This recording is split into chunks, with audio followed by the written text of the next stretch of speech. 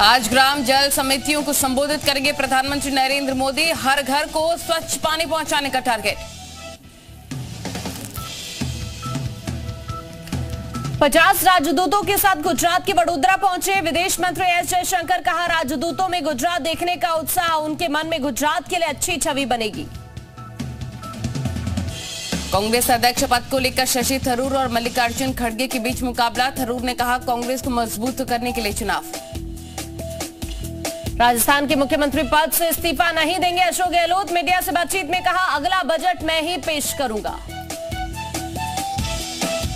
केरल के पाँच आरएसएस नेताओं को गृह मंत्रालय ने दी वाई कैटेगरी सुरक्षा, पीएफआई की हिट लिस्ट में थे शामिल इंटेलिजेंस रिपोर्ट के आधार पर फैसला। आज दिल्ली मेट्रो की ब्लू लाइन मेट्रो सेवा बाधित रहेगी। ब्लू लाइन पर मरम्मत के काम के कारण मेट्रो सेवा बाधित रहेगी। दिल्ली के शादरा में पुलिस की छापेमारी 124 पेटिया अवैध शराब बरामद, किचन में सुरंग बनाकर छिपा रखी थी शराब। महाराष्ट्र में सरकारी अधिकारी फ़ोन पर, हेलो की जगह, अब बोलेंगे वंदे मातरम सरकार ने जारी किया आदेश।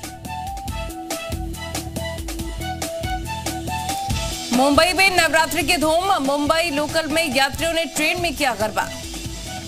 कर्नाटक में सांप के साथ स्टंट, दिखाना युवक को महँगा पड़ा, सांप ने युवक को काटा बाल बाल बची जान। वाराणसी जिला कोर्ट को बम से उड़ाने की धमकी मामले में गिरफ़्तार चोरी के मोबाइल से सीएम आवास में की गई थी धमकी वाली कॉल। सावधान यात्रा के लिए ओम प्रकाश राजभर ने चंदा मांगा। गाड़ी में तेल भराने के नाम पर चादर फैलाकर मदद मांगी। सभा पर बोला हमला, कहा, चचा और बच्चा, दोनों सत्ता की लड़ाई से आउट। यूपी के शाबली में माहौल बिगाड़ने की कोशिश बैन के विरोध में एसटीपीआई ने लगाया खौफ से आज़ादी के पोस्टर, आरोपी की तलाश में जुटी पुलिस। यूपी के अलीगढ़ में सामने आया लव जिहाद का मामला। धर्म समाज कॉलेज में पकड़ा गया साहिल, राहुल बनकर छात्रा से मिलने के लिए पहुँचा था कैंपस। ब्रजलाल खाबरी बने यूपी कांग्रेस के अध्यक्ष अजय राय, नसीमुद्दीन सिद्दीकी बने कार्यकारी अध्यक्ष कांग्रेस ने छह प्रांतीय अध्यक्ष भी नियुक्त किए। इलाहाबाद विश्वविद्यालय में फ़ीस बढ़ोतरी मामले में प्रदर्शनकारी बावन छात्रों पर एफआईआर चीफ प्रॉक्टर की तहरीर पर दर्ज हुआ मुकदमा। फ़ीस बढ़ोतरी का विरोध कर रहे हैं छात्र। गाजियाबाद के एक मेले में झूला टूटा, एक ही परिवार के चार लोग घायल, प्रशासन ने जाँच के आदेश दिए। अंकिता हत्याकांड को लेकर रामनगर में कांग्रेस ने प्रदर्शन किया उत्तराखंड, सरकार का पुतला फूका।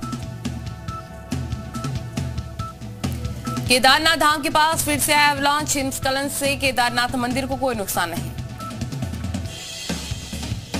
पाकिस्तान के पूर्व पीएम इमरान खान के खिलाफ गिरफ्तारी वारंट जारी। महिला सेशन जज पर टिप्पणी की थी।